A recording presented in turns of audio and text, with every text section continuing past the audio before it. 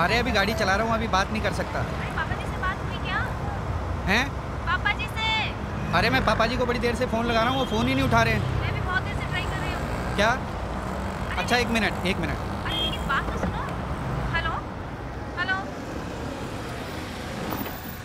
हाँ बोलो। समय है सुनने का? मैंने पहले ही कहा था कि मोबाइल से ज़्यादा ज़रूरी पापा जी के लिए कान की मशीन है। अच्छा तू फ़ोन रख। किसी क्लाइंट का फ़ोन आ रहा है मैं तेरे से बाद में बात करता हूँ। ओके बाय बाय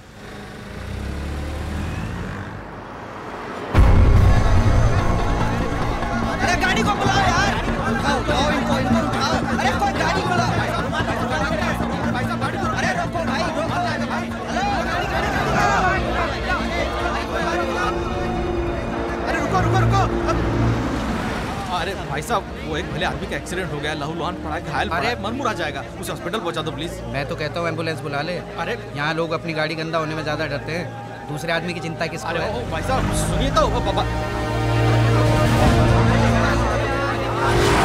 हाँ भाई साहब चलिए।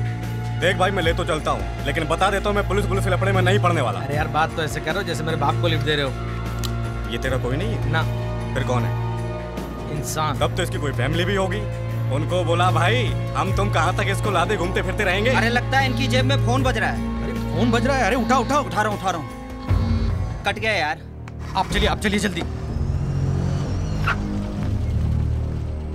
आइए आइए इस तरफ़। संभाल के थोड़ा धीरे ध्यान से इस तरफ़। अरे रुकिए रुकिए। ये तो एक्सीडेंटल केस है हाँ। कौन से थाने में दर्ज कराया? अरे नहीं मैडम कैसी बात कर रही हैं आप? हम तो घायल को अपने इंसानियत के नाते हॉस्पिटल तक लाए सुनना चाहती ये पुलिस केस है। अरे मैडम वो मर जाएगा मैडम। देखा? मैंने कहा था ना कि पुलिस में चक्कर पड़ेगा। अब अब सब संभालो आप। अरे रुको रुको यार। अरे मैडम प्लीज़ मैडम अटेंड कीजिए उसको। मर जाएगा मैडम उसकी हालत खराब मैं है आपसे कह रही हूँ ना आप समझने की कोशिश करिए। प्लीज़ मैडम प्लीज़ आप सुनिए तो सही। अरे डॉक्टर साहब आ गए। एक मिनट। पहले पेशेंट को ओटी ले जाओ।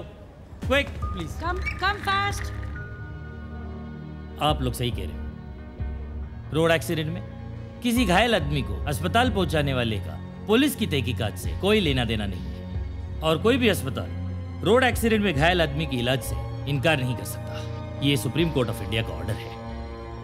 अब आप लोग चाहे तो जा सकते हो। जा सकते हैं सर। सर मैंने इनके घर वालों को भी फ़ोन कर दिया है। बहुत अच्छी। Very good.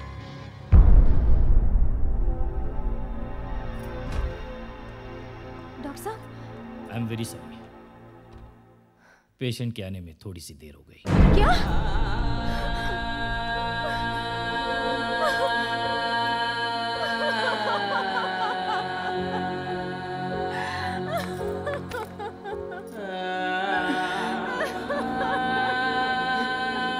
मैं तो कहता हूँ एंबुलेंस बुला ले। यहाँ लोग अपनी गाड़ी गंदा होने में ज़्यादा डरते हैं। दूसरे आदमी की चिंता किसको है?